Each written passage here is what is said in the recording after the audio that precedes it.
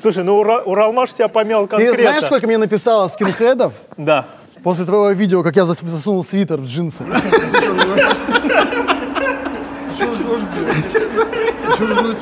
Что тебе они написали? Они написали, типа, красава, брат, добро пожаловать.